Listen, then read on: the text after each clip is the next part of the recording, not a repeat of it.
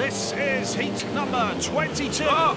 The second semi-final. It's very tight. First turn. Oh, Oh. we've got a Pedersen lock-up. That's a gracious. dreadful, dreadful crash. Big contact going into the first corner there. Tai Woffinden getting hooked up with Nicki Pedersen. Couldn't get away from him. They lose control and slam into the air fence. That's going to hurt. We'll see it again. Woffinden just clips Nicki Pedersen now and loses control and keeps pushing. Pedersen puts a big locker on and then crikey. How on earth? How on earth they got away from the motorbikes there? That's more luck than judgment. Doesn't get any prettier, Kelvin, No, does it it? doesn't. We could see that a hundred times and it won't look any, but look Wow. at the energy as the bikes hit the fence and just catapult the riders forward off their bikes. Woffinden just losing it there on the inside of Nicki Pedersen and then all out of shape. Look at Pedersen bouncing down the track. Just keep our fingers crossed that uh, both riders are okay. Well, all four riders have been invited back into the rerun by referee Jim Lawrence, so he can't see any one rider Oh. at fault for this incident. Woffinden is up, which is good news.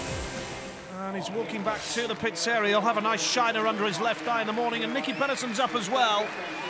But he's going to Wow. need plenty of time to get you uh, know what? recovered for the restart. Do you know what? Nicki Pedersen's such a tough customer. He's super fit and he normally bounces back after a, a crash like that.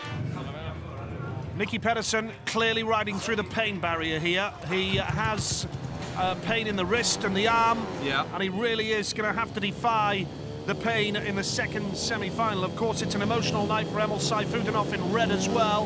His father gravely ill right now.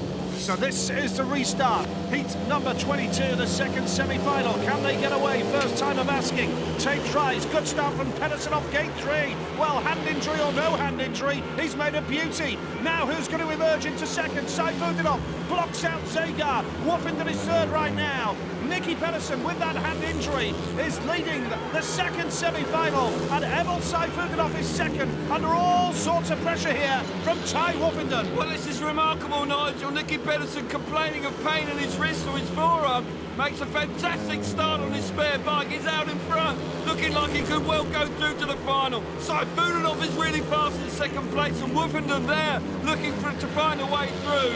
Zagar, unfortunately, got his momentum was killed early in the race, but Pedersen out in front. But Sayfutdinov, look, Sayfutdinov now really pushing hard in second place. Here comes Sayfutdinov. He's going to switch up the inside now. Pedersen under all sorts of pressure. Second semi-final. Place in the final on the line. And remember, every point counts towards your overall Oh. total. Clever switch up the inside Oh. from Emil. What a move from the brilliant Russian. Can Pedersen come back for more? Down to the line. What a semi-final.